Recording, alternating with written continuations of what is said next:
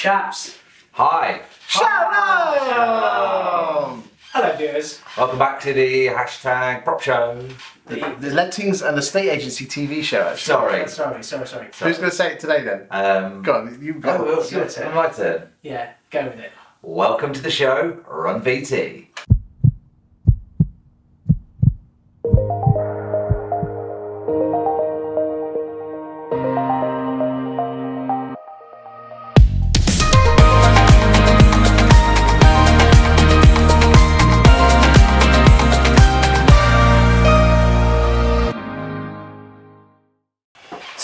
Episode five.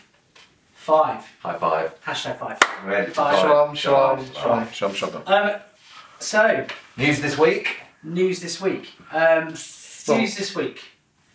Halifax. Halifax. Yes, Yeah. Halifax have produced their, their annual report, um, similar to Nationwide's actually in their results, but they've said that this is uh, since November last year, November 2017, annual house prices have rose at their fastest pace um, by 3.3%, And the average house price has gone up. gone up uh, to 280,000, sorry, 230,000 Average price.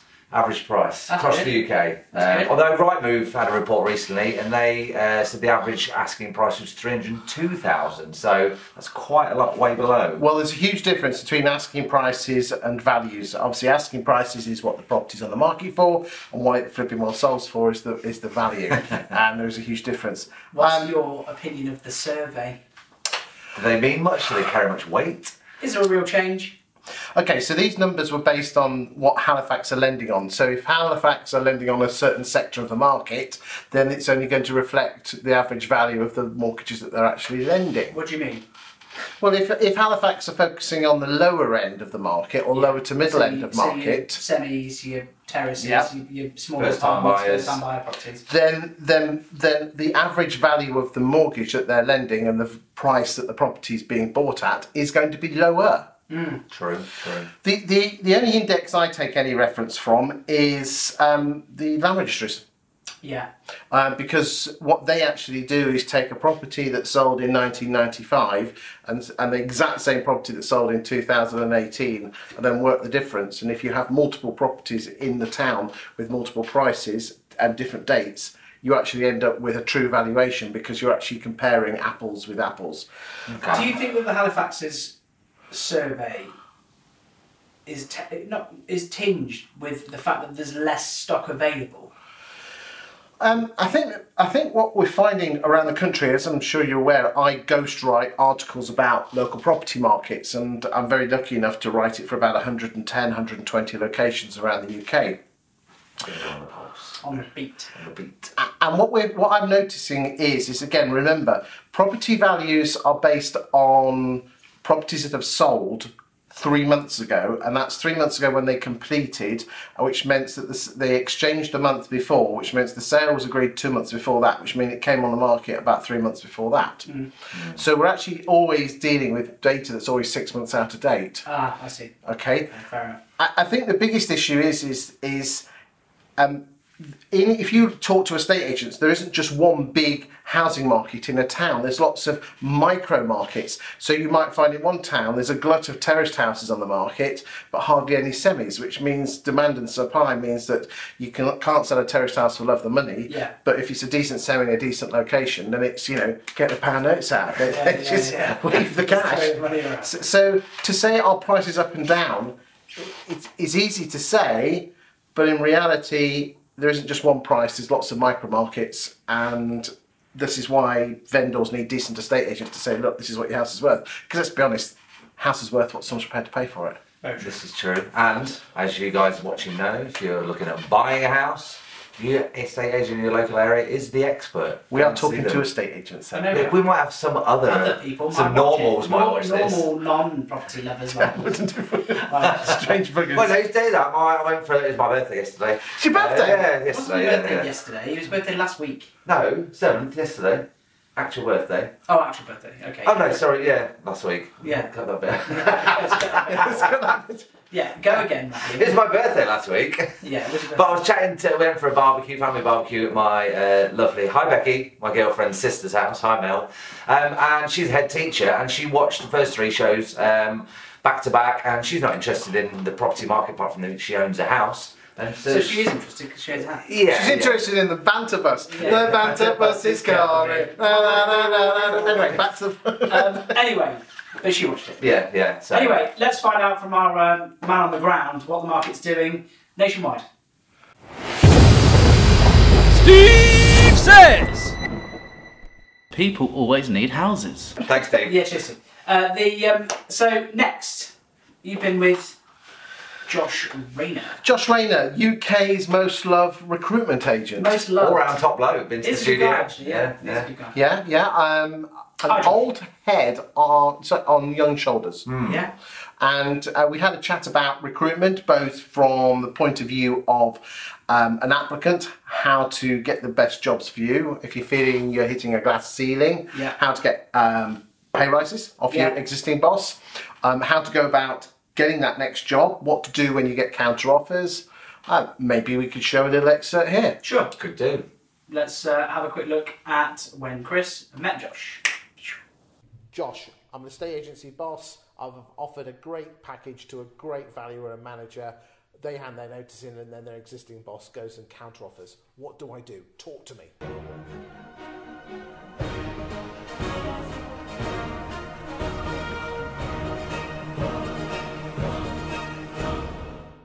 Massive headache and it's happening more and more. So a lot of the people are using the, the, the counter offer and I've got a new job um, to, to try and nick more money um, to stay. Um, from my point of view, Do you think they ever had any intention of going? I think they probably did, but again, better than ever you know sometimes. And is the grass that, that greener, especially in the market and the climate we're, we're in at the moment? Um, all I could say is don't bother re, re-offering that person. If they're going to take a potential counter offer, let them stay where they are. Let them what? Let them stay where they are. I wouldn't get into a bidding war to pay another couple of grand to, to get that person. Do you think that, is there something that the agent can do to almost keep the door open for the future? Yeah, I'd always say, look, keep my details on file. Um, I'd also ask um, potential employers to come up with their best offer. Let's be honest. And I see it time and time again where people offer the lower side of where they offer the job, job advert, so they've got a little bit of wiggle room Yes. um, to, to move to. From my point of view, go in with your strongest offer because counter offers are more and more likely to happen. We're losing 25% of all of our 25%. 25% of job offers to counter offers. Is there anything that you, as a recruitment agent or the agent, the agent themselves, can do to mitigate that potential loss? No, not necessarily. Every, t- every time we speak to a candidate, we actually go through what's going to happen when we find you a job. We're that confident. We're going to find you a job, Joe Blogs, and you are going to be counter offered. What are you going to do? Um, we tell them the reasons why, and if they, if after that they go, actually, we're going to stay, then we suggest they actually stay where they are and put their job search on hold. What do you? What would you say to people who said I, w- I would still go and then decide not to? Do you think they were always going to make that decision, or I think there's lots of things that make that up. Um, nine times out of ten, you're probably right. They never had the, the, the ability to go anyway. surely that pisses you off, shouldn't it? Massively. Uh, it's, the, it's the bugbear of our, of But our I job. suppose it's like a state agency when someone pulls out just before, two days before exchange. That's that's Mass- just the way of the just game. isn't life, and it's massively frustrating. But there's not a lot you can really do. So, is there anything else agents can do to mitigate that potential loss? Not really. Um, on the first interview, I'd always say that I'd mention the counter offer on the first interview. This is what's going to happen if we do go to the second stage, because I do really like you, Joe Blogs, um, and you do, and I do offer you a job. Your boss is going to counter offer you. In that scenario, what would you do? You then asked it face to face in person. The recruiter hopefully should have done the same thing, and then you've basically got a little bit probably more um, edge in front of if that person's going to actually join you or not. Okay, interesting. Thank you very much. Excellent. Cheers, Chris. Interesting. Very Interesting interesting. I'll tell you what is interesting because we've privy to a few of the other interviews that Yes. haven't been released Yeah, yet. Is Josh does an awesome um, thing where if he places someone uh, with an agency or an agent or an estate agent, sorry, um, that if they don't work out in 12 months, then uh, money back guarantee, Mm. That's which clever. is a bold call. Yeah, it's a bold move. Yeah. Like for someone to fit in and yeah, Yeah, for a yeah, year. Yeah. It's pretty good. But yeah, good guy. Those rest of those videos are on your YouTube. They're on the YouTube your channel. YouTube channel, yeah. And and we've got a little playlist as well. Okay, so if you want to Subscribe see below. it, subscribe below. We'll put it in the comments Really important note there when it comes to you guys doing your videos and your YouTube channels. Don't set up a proper channel. You've got to agree with me on this one. I do, we do, yeah, yeah. this is a prop channel, yeah. And then also set up little playlists. So if you're doing your buy to let deals, put all the buy to let deals in one little section. If you're doing your property market updates, do that. If you're doing your digital mail where you're talking to your local people in your town, put those as little Yeah. playlists. It keeps people on your channel. And at the end of each video, you know, on YouTube, you it like comes up with suggestions. You can actually um, tell YouTube what video to watch next. Ah. As opposed to yeah, like as a opposed to just spurting you off to cat cats and with moustaches. Yes, cats. Although I do love cats with moustaches. Um, hilarious. Hi to all the cats with moustaches. Meow. Um, so, Maybe we could do a video of that on another day. what cats with moustaches? No, fuck's sake. Look, there's me trying to soar with the eagles. I'm going to run around with these turkeys. um, Go on. So on next week's show, you've No, got we got- Nigel Mansell. Nigel Mansell with a moustache. With a moustache. Yeah. Talking Cats. cats with moustaches. Yes. You've got Nigel Mansell avec moustache. No, not Nigel Mansell. Yeah, the Formula One. No, Yeah, no, um, Brian. Brian. Uh, Brian Mansell. Brian. And uh, Brian Mansell's coming over, and he is Agency All Stars, and he's going to talk to us about something quite controversial. Oh, we like that. Interesting. Yeah, well. Any- Say no more. Say no more. Watch next week to find out. Um, right. what the bloody hell is that? It's question time. Roll VT.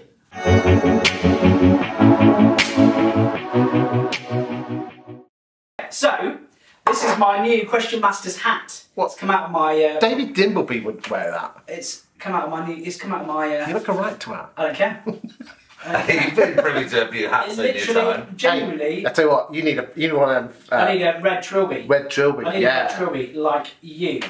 So, Just what like I want that. to do is find We're taking a couple, we're some moving the ball. questions, Just like that. just like that. Uh, it allows me to use my favourite favourite joke, uh, which is what I say. I thought you had got the bloody questions ready. Look, I had, I had the questions ready, and then we start talking about Nigel Mansell, Okay, and then Brian. it's Brian that's, That's coming, right. not Nigel. that's right, not Nigel.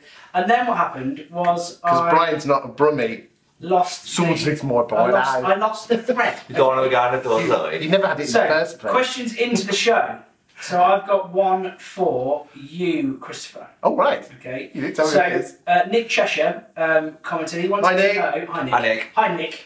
Um, he wanted to know um, with Rightmove. We did touch on, on in, in another episode about the difference between premium featured listing products Uh, and whether, in your opinion, our opinion only, don't sue us. Whether, in your opinion, that money might be better spent investing in video marketing or doing stuff in your local community. So, are we actually asking a, a what is exact? So the exact question is: Is it wise to invest in premium featured listing products or invest the same amount into video and promote it on social media? Right, so uh, that is the bit where, you know, if you go onto Rightmove and it puts a bigger photographs, a couple more photographs underneath. Yeah, I know what premium listing is. Bigger, well, some of these guys might not know. They should do, they use it. do that. okay, um, me personally, um, if you're rubbish at video and you've not been trained by the likes of either Chris Kiriakou, hi Chris, Hi, Chris. Or pull Long, Yeah. then then the easy route is to press the button and, and have the featured listing. Yeah. Okay. Yet, if you can take that amount of money that because it does cost money, and I can't remember exactly how, so don't even ask me. Okay. But I know it costs a reasonable amount. Yeah, yeah. Um, if you are good at video and you've got some good photography, that um, Alan Batt from Wigan, hi Alan, friend of the show, Friend of the show. Um, and, and Michelle and Gallagher. Paul, yes, they've done some amazing campaigns on Facebook. They have. using video, And had really great response. particularly using the Canvas style advert, which is, is a, I believe, a new new bit of kit. It looks fantastic. Cool. Yeah, Cool. Okay, good answer. Matthew, but you've got to be good. You've got to be you've got to be good at video. you've You've had got your bit. It's over. Well, I, on, on the back of that, I would say, yes, always invest in some video because as we keep banging on about it, whether you believe us or not, video is not going away. Like, you are um, biased, though, aren't you? Not really. it's backed up with science and facts. So we're chatting to some. I guess we are biased, but I mean, to be honest, look, there's a reason why we're busy. Double busy. Double Double There's a busy. reason because the, social media requires content. Your websites require content. Your Yeah. businesses require content and marketing content. You know, we work with traditional media. We're filming award ceremonies for two local newspapers um, in the next six weeks. Yeah, yeah. So they do still exist, but we're filming their video content for their awards. Even they know traditional print media value video content, and that content will be used on their social channels. Yes. So it's not just the property industry; it's Well, it- everywhere. Well, it- it's TV, isn't it? It's TV. And my kids, I don't know about yours, but my children, other than a bit of Netflix, they're more interested in YouTube than they are in terrestrial Oh television. yeah, yeah. So Well, Chris Chris Evans, Radio 2, uh, Breakfast Show fame. They don't have a TV in the house. I mean, it's not for everyone. Some people like to relax to it, but on I some, didn't have a TV for the first two years yeah, of being married. It's a very That's 'cause you creative didn't have any money there. environment. you didn't want one. but they have one hour on YouTube black a and week. white as The well. family, yeah, It's black and white then. I mean, the power of, the, pig in it. power of video. Um, our friend of the show, we've got so many friends. The show show. uh, Michael Hollenby Ah, does. is Michael coming on? Um, I spoke to him. T- uh, spoke to him last week, and he said he's well up for it. Michael, get yourself to Grantham. You've got no excuse. He's double busy. He's been before. He, you bet But not not to on be the- on the show. He's No. 15 miles away. He's Come got, his, he's got his own show, which is pulling up trees in Bourne. How many? show. How many viewers did they have last week on the Bourne Property Show? Um, the, the episode from two or three weeks ago. Two three remember, weeks the um, the population of Bourne is only 17,500. Yes, yeah, yeah. And the average view time, the show is around 20, 25 minutes long. The average view time is 18 minutes. Brilliant. Uh, within the first week, most shows get between four and 5,000 views with an average view time of 18 minutes. Brilliant. Where the hell are you going to get That sort of 20% of the town? But again, this is interesting because he links them back to previous videos, Yeah. like we do at the end of this YouTube video. You can go and see all the old Yeah, yeah, episodes. yeah, yeah. People will jump on and say, well, like your friend in the bath Yes. would want to watch the old ones. Um, one of them from about a month ago is up to 11,000 views Fantastic. Fantastic. with not just three second views, yeah, yeah, proper, proper. Actual 15, watching. 20 yeah, minute yeah, Actual views. watching. Okay. That's the way forward. Did you met?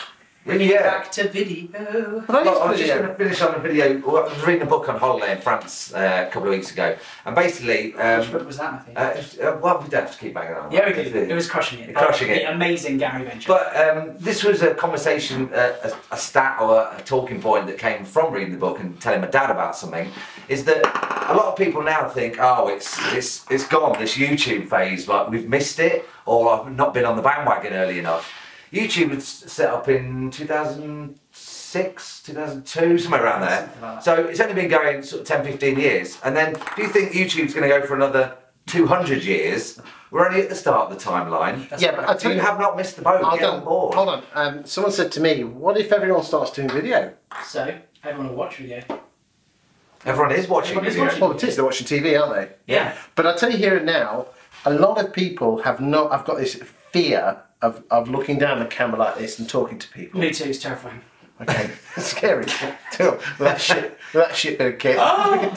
Dang, it's my favourite camera. There you go. if it was any bigger, you could jump it into, throw it into a swimming pool. Yeah, well, yeah, but phone lens is miniature in comparison to this bad boy. Yeah, True, but true. Um, but we actually teach people on our training course. We do. because we do a, a training course. Do plug time. Plug. Plug time, Yeah, plug. we need the golden plug. Plug. We need, we need a golden wrong. plug. We need a plug. Any plumbers out there watching, send, Send us a plug. golden plug. Yeah, You need to spray it gold. Spray it gold. Yeah, Yeah, yeah, Yeah, yeah, And, yeah. and put some glitter on it. I think Yeah, like and that. literally have it on a plaque. Okay. A Lasers. Lasers. golden plug. Okay. Uh, yeah, so we've got a course on the 10th of September. Yes. It's available now to book on Eventbrite. Uh, and yeah, you can find it on our Facebook page or. Put, put a link down below. Um, but yeah, Yeah, so that's that's- three for the day. Yeah. Th- Maximum of eight people, three trainers, or Yeah, three and a half actually. Three and a half. And um, this time, and uh, we'll teach you what to film, Yeah, how to how to film, film. how to get over your fear. the best look. Which leads us nicely on to a question from Matthew. Um, what are our top five pieces of equipment to get started in video marketing? Which came from Luke Sinclair. So Luke knows Ah, this, I think Luke was in the Luke was here studio last week. Last week, yeah. he, Great uh, feedback from the show, by the way. Oh, thanks. man. Um, the um, It wasn't to you, it was for Luke. it's a deep burn. That's why he's gone with the hat. It's a deep burn, just to cover my face. needs face. some aloe vera that got burned. Um, God, it's hot in the face. It's hot in the. Um, yeah, so top five bits of equipment. But we've done a show. Uh, we've done a video about that. So why don't we run that video and then we can add to it after. Okay, run VT.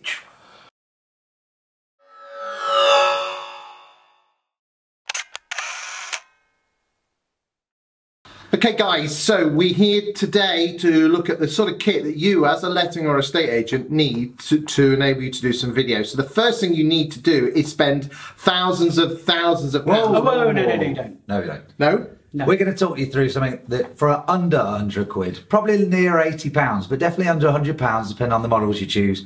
You can get set up and start shooting your own video today, this afternoon. Get on Amazon, be delivered by tomorrow. Okay, so obviously your phone isn't something that you're going to have for under £100. But as we all know, everyone's got one of these handy little gizmos in their pocket. So you've already got, hopefully, one of these. You might even be watching this video on your phone. Absolutely. Good so stuff. as long as you've got one of these, you can make some cool video. Yeah. Good. Now, golden rule, steady. No one likes, unless you're watching Blair Witch Project or something like that. Didn't Or like an that. action movie. I didn't Or like that action film. movie. Yeah, it's no, I don't like too stuff like scary. that. Too scary. But you want something steady. And plus, if you're out in the field on your own and it's just you, obviously, you want to stand up your camera and you want to stand in front of it, start talking, not worry about this handheld shaky thing going on. So, Chris, how much would the tripod be? Well, I mean, that one's, you know, a professional model, but you can pick them up for as little as £25, maybe £30. Amazon, Wex online, phenomenal camera supplier. Yes, yeah. Um, you know, and um, yeah, you can be steady for under 30 quid. But Chris, I, I, I can't seem to. It doesn't seem to stick on the on No, the. it oh, so, so what, of course what it won't. But, you know, these things are super cheap. This is the little camera bracket. We don't use the word cheap. We use the word inexpensive. um, so this little inexpensive gizmo uh, has got a little foot on the bottom that attaches just to the to the top of your tripod. Just screw that bad boy in, and he's only a fiver, and that will give you a nice landscape uh, photo, uh, photo or video um, straight away. Just screw straight in. So so far, 30, 35 pounds. Good stuff. Bargain. Okay, so so um, sometimes we've got these things called a selfie stick, whatever one of these is. Um, so so talk to me through about this because this looks a really expensive model. You couldn't have spent more than two quid on that one. Uh, no, this is about another fiver, maybe a tenner if you buy a good Wow, one. Um, I know, right? uh, effectively, effectively, your mobile tripod. So Yeah. it's exactly the same principle um, as this little chap with the foot. Just clip them in the front, and you're good to go. Um, obviously, you have to think about positioning, um, your height, uh, and everything else. We're gonna do a video We'll on do some stuff Yeah, about we're that gonna do some later on. later. This, t- this is just kit. This Good is stuff. just getting you set and ready to go. Okay, so do you use the microphone that's in the camera, uh, sorry, in the phone to, to, to record? You can. You Can, You can. but this little puppy is ten pounds. 10 quid. That one's a uh, Amazon special. Um, obviously not professional grade, but it will give you quite good sound. Now it's good, important to mention, you know, sound is crucial. We're going to talk in more detail about sound and, and the value of sound uh, in a later video, but but sound really really important. Um, and this is going to massively improve your sound. Massively. for a tenner. For a tenner. Gents, you're going to be wearing a suit or a tie. Ladies, maybe wearing a scarf or a tie to work. Depends how you dress. But easy peasy. This pops into the bottom of your phone. Et voila, easy peasy. Uh, then- but, but some of some of our some of our viewers here have got iPhone sevens, so Okay, you know, so, so- you're not going to be able to have be able No, to plug this in. now, You've got this one here. I think it's this one here, isn't it? oh, we can plug that in, yeah. Good stuff. So if you've got an iPhone 7, it comes with a little adapter thing that you plug into the bottom of your iPhone and then you plug in your headphones that way. Again, on a later video, we'll do some nice tight close-ups and show you how it works and why it works. What have you got in your hand there? Because to be honest with you, um, there's an awful lot of people out there that are using microphones. They plug it into their phone and it doesn't work. So what's the score on that one then? And why the hell should they need to spend money on one of these? Well, they look similar, don't they? But if you look very carefully, and again, we'll do some close-up shots in when we do the microphone video. But one's got two rings on, and one's got three rings on. And basically, if you put that two ring into a phone, it won't work. It, won't needs work. to go into a three ring. So you need this adapter. And uh, on the screen now is what it's called. I think it's called a TRS to a TRRS or something. Yeah, something It's- technical. something technical. I can't be doing with technical. But how much was this? Three, four quid from four Am- quid. from Amazon Three, Mobius four Union. quid. So, 25 ish, tenner, 35, another tenner, 45. One of FOC these, from three. Apple. Unless you've thrown, One of unless these, you've ridden it three or four quid, another fiver. That is your kit for £100. You're Excellent. good to go. Good stuff. So now what we need to know is how to film and uh, put a bit more detail. So let's go for the next video now, chaps. Eh? Okay, Great. see you in the next See you later. episode. Cheers, Thanks, See you guys. now. Bye.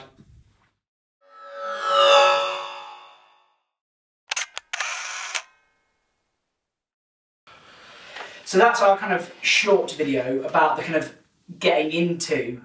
A Yeah, that's a good. That's a good low So good budget to low budget, cost is relatively insignificant. Mm. Um, what we didn't talk about there were some kind of wireless mics and gimbals and stuff, but I think Don't need it. you, you kind of don't. Not to like, start with.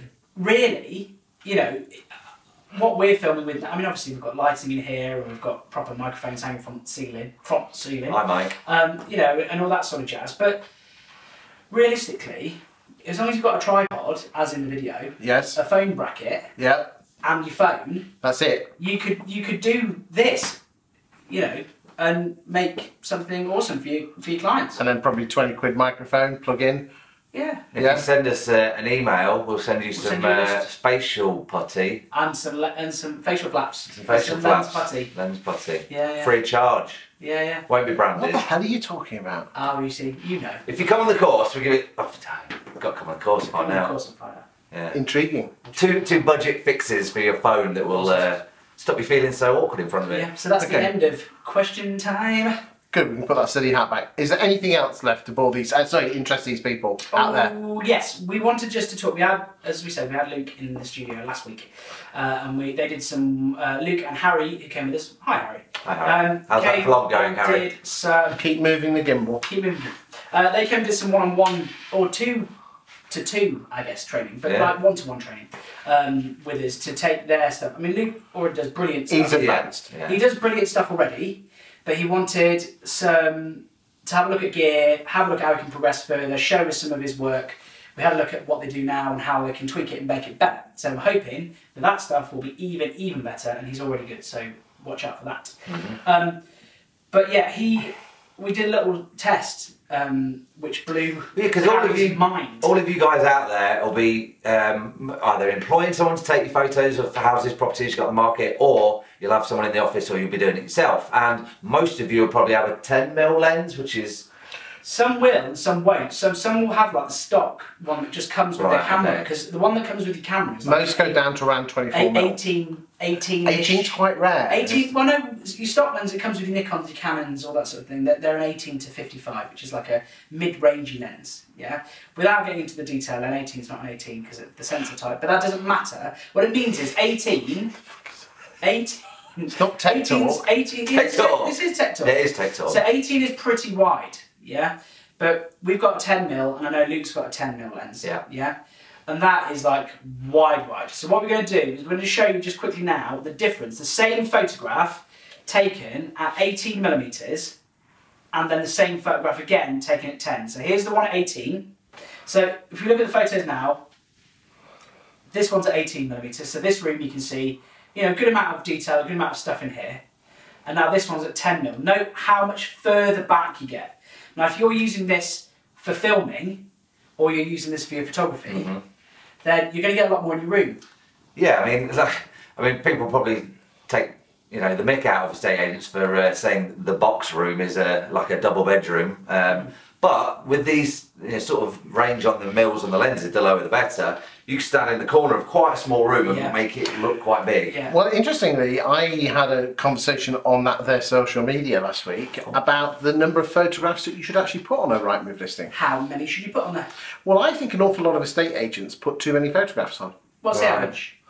Well, Rightmove reckon you should only put nine on. I think it's nine. Yeah. But a lot put like 20, 30. And the thing is, the photos are designed to get the viewing, not sell the house. The viewing will sell That's the right, house. but that's exactly what we were saying to Luke and Harry last week. Mm-hmm. So Harry produced a video of a property tour, Yeah.